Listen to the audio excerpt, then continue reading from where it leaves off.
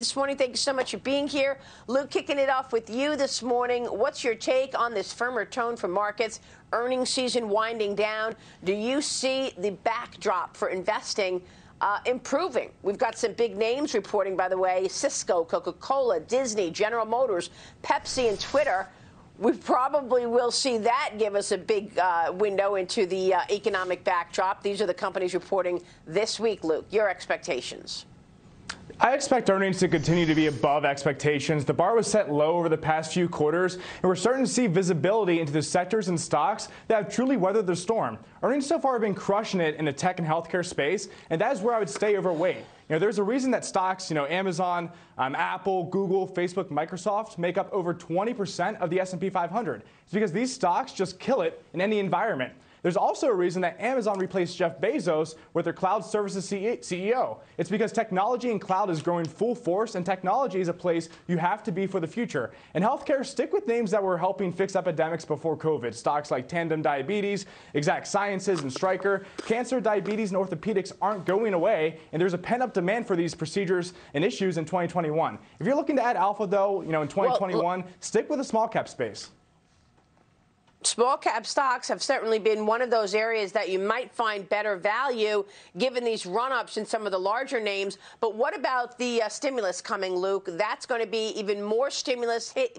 thrown at this economy. We're talking about $5 trillion in stimulus just in the last year. What does that do to an economic backdrop in the markets, in your view?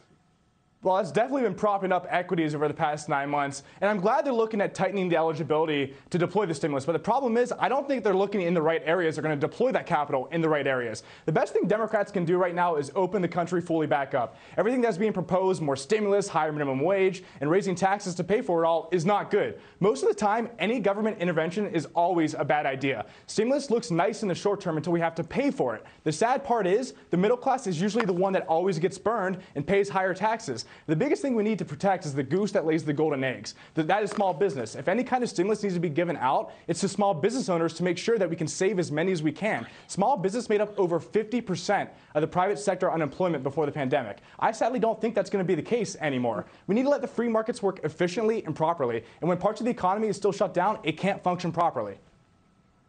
Yeah, well, that's true. The sh- shutdown is going to cause problems for growth, that's for sure. Brian Brenberg, jump in. Hey, Luke, we've got a fascinating debate among Democrats between those like Janet Yellen, who are saying we've got to have $1.9 trillion, and Larry Summers, on the other hand, who's saying, wait a second, that could spark inflation. Where do you come down on that, Luke? Are we in for inflation if we get another big stimulus package like this one?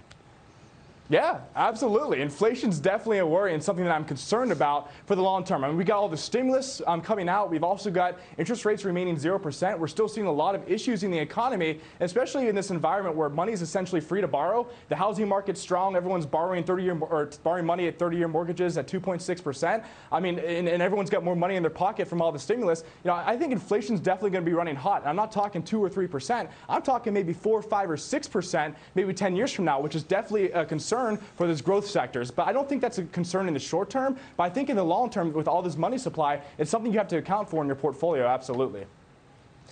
Well, look, we, uh, yesterday I spoke with Senator Ron Johnson, who walked us through President Biden's agenda. And he said, look, first was the spending part of it. We saw that with the $1.9 trillion, which is likely going to uh, become law. And now, after that, it will be revenue raising, which means tax increases. Luke, does that change your outlook at all, given the fact that we know that it is going to become more expensive for corporations, more expensive for individuals? You just said it, it's likely not going to be the top top 10%. It's the middle class where the money is. So we're going to see tightening of belts likely because taxes are going up. Does that slow things down? It does slow things down, but not right now. It slows things down, like I said, maybe three to five years out. Once these tax you know, increases for corporations and personal income taxes actually increase, that's definitely going to have an impact on the markets. But I think for right now, the stimulus is so much and being pumped so much into the economy and the money supply that I think that's going to offset these tax increases in the short term. But again, nothing is free, and we're going to pay for all this down the road. So uh, again, you have to account for all of this in your portfolio, which is hard. You do have to tune out the noise and take a longer term perspective because I don't think I don't think a lot of people are taking that long term perspective right now. I think a lot of people just are just having that short-term perspective, and that's not how you can be in the markets. All right, Luke, we'll keep watching. Thanks so much. Great to get your insights this Thanks morning. Luke Lloyd joining us from Strategic. We are just getting started this morning.